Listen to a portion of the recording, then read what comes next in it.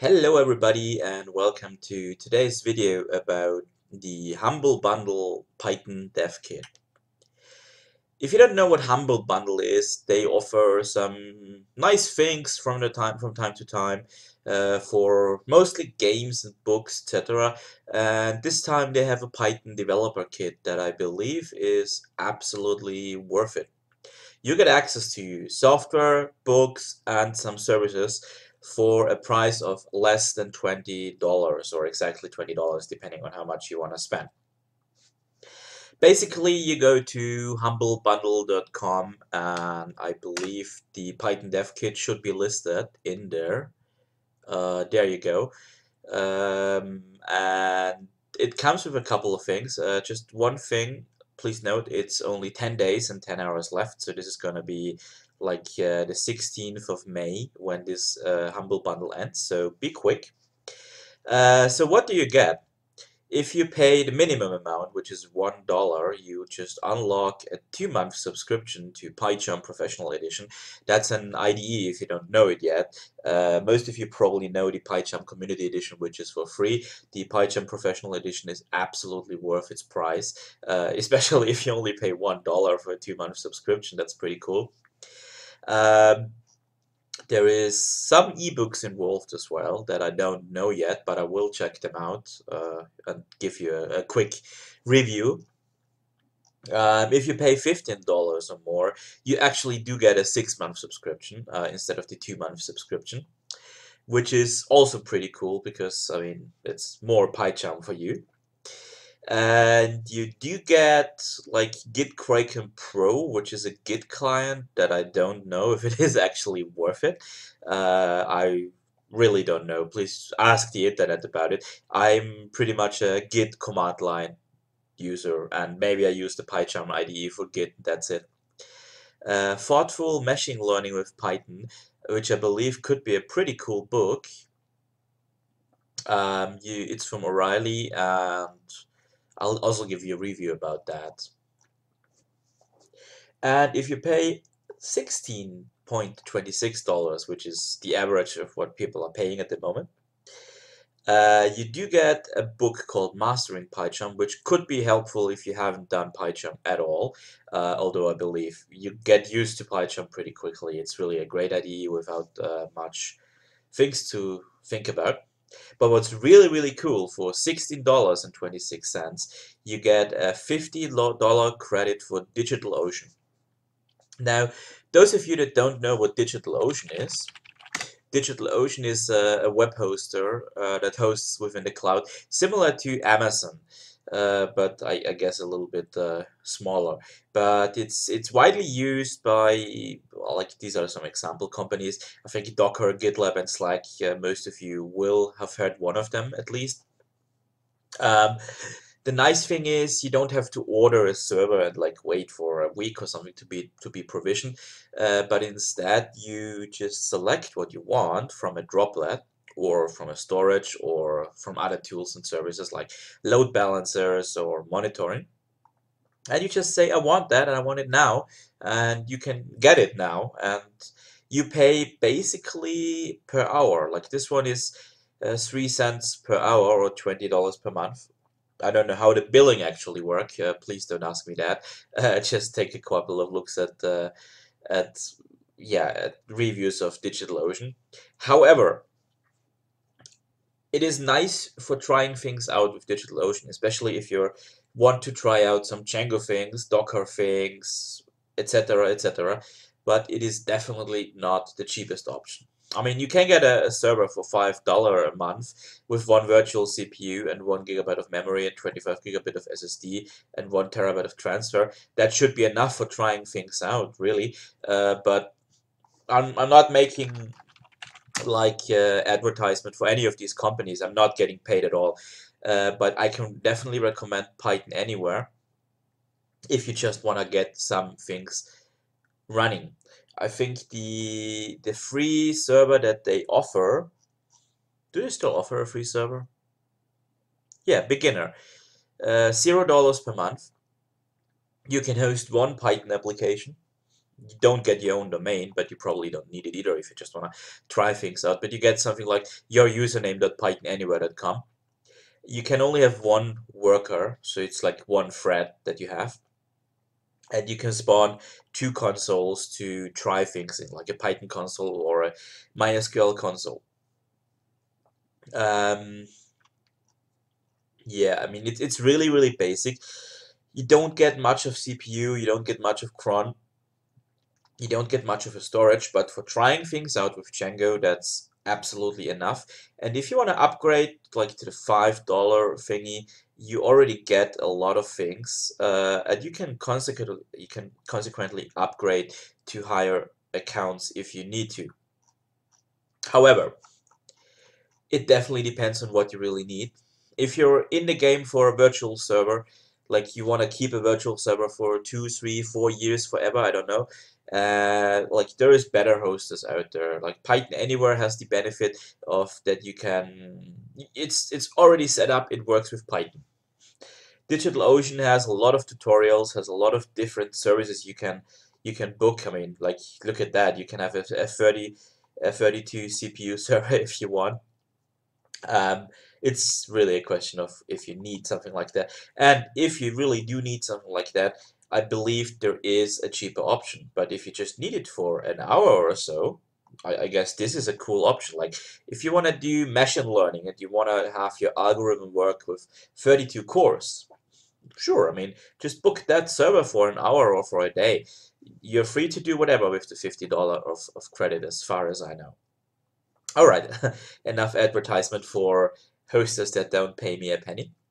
Uh, there is also a Python book, Python Tricks, the book that I believe could be good. Again, I don't know it yet. I'll give you a review about it. And now if you pay $20, that's like the, the most that you can pay at the moment, or 16 euros 71 at the current price. Uh, you will unlock a one-year subscription to PyUp. I've mentioned PyUp in another video. PyUp is uh, a pretty neat service that gives you automated security and dependency updates. So let's assume you have your Python repo on GitHub and you're like, hey, uh, can you notify me when there is an update for Django that has a security leak or something in it? Or if there is an update to insert random Python library that almost nobody uses, but it's listed on PyUp. And you will get notified, you will get a pull request by PyUp and it will tell you let's see there we go this is something no.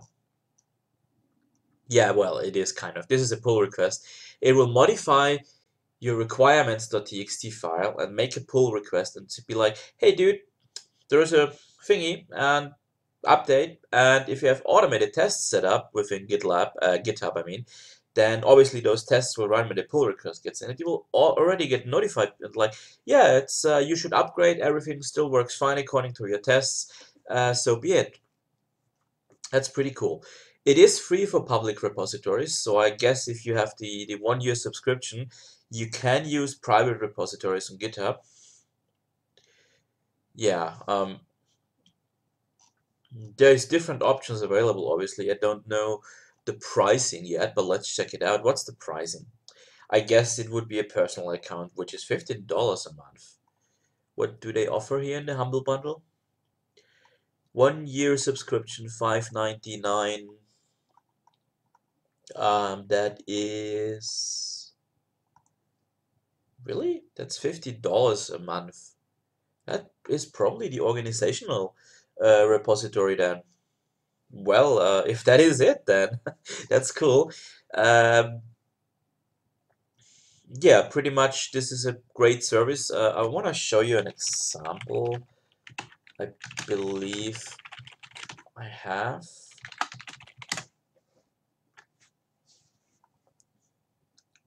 Yeah. I've registered PyUp with this repository of mine. Uh, I'm not actively like doing something with that repository, so I've ignored the pull request. But this is the pull request you get. This is like the initial one. It will tell you, this is my first visit. And hey, hey, you should upgrade PyMySQL from 0.7.9 to 0.7.11. You should upgrade NumPy from 1.13 point star, asterisk, whatever, uh, which is not good to have in your requirements txt for some reasons uh, to that version and it will give you the change log of these libraries. Like it'd be like, oh, what has been fixed? And it's been like, oh, there's a security fix, and security fixes are in bold. And the same is true for NumPy. I mean, it will give you a lot of information about what has changed, and this could be information for you to be like, yeah, um, this thingy is not compatible, or oh yeah, yeah, sure, um, I don't care. This should work it's quite a comprehensive list depending on the library obviously if the library doesn't provide that list, you're uh, yeah, you're out of luck. Scrolling, scrolling, scrolling. I'm gonna fast forward the scrolling here. all right, all right, all right, all right. Okay. And it basically consists of two commits. And let's see what has actually changed. Almost nothing. I mean, PyMySQL and NumPy. So this is a very basic commit. Uh, had I set up some tests, some automated tests for this repository, they would have been executed like they are on GitHub. So pretty cool stuff. Alright, what else is there? Egghead.io. I actually don't know what that is. It's some some thing of like learning platform. Um, I guess that's cool. It's a six month subscription. I will check it out actually. Maybe there's something cool. Fluent Python is another book by O'Reilly and yeah, it tells you some things about Python. and a six-month subscription to Postman Pro. If you don't know Postman, Postman basically uh, is a tool for executing REST API calls. I mean, you can use CURL or wget or HTTP or Python's request library or whatever you want to execute a a request. But if you want to try out your your your REST framework, for instance, or an API you build with Django, Postman is pretty cool. Um, other than that, the subscription that they're offering here, I'm, I'm not sure if that's really worth it. You do get Postman for free, if that is the same Postman. Uh, plans and pricing yeah, you do get it for free. The most complete API development environment, yeah. Um, the Postman Pro apparently offers collaboration features and nearly unlimited usage of advanced features for power users. Oh my god, they couldn't have written that better, right? Um, okay. I guess the the free version is absolutely enough. Uh, if you want to use the pro version from that, um, yeah, I'm just not sure if this is recommendable at all. Uh, but you know, uh, uh in total, the twenty dollars that you spend, you do get one year of PyUp.io professional, so you can use private repositories if you want. You do get like some learning platform for Python, etc. Uh, you do get this book. You do get Postman. You do get a DigitalOcean credit.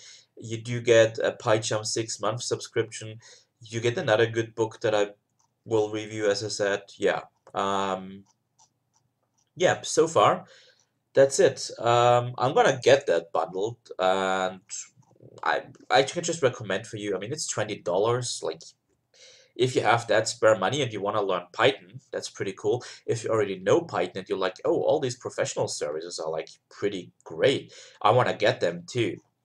If you're just like, yeah, I want to try out some things, I'm not sure about DigitalOcean, I might need PyCharm, but the community edition is fine. I don't care about these books. Then really just use the, the smallest one with with one dollar. I mean, you get a two month subscription to PyCharm Professional, which should be enough time for you to to try out the PyCharm Professional edition compared to the community edition. Although you have a 30 day trial with PyCharm Professional. Um, yeah, it's 10 days, so May 16th, something like that. And yeah, if you have any comments about that, if you want to get that bundle, if you have some review about the books that are in there, or you can recommend or disrecommend any of the books, uh, please feel free to leave a comment on my page or on this video rather than that. I will link this Humble Bundle thing in the video description it will not have uh, affiliate link or something. I don't care. Like I don't even know if Humble Bundle has something like that. I will just give you the, the pure link to humblebundle.com and you can click on that. All right, that's it for today. Bye bye.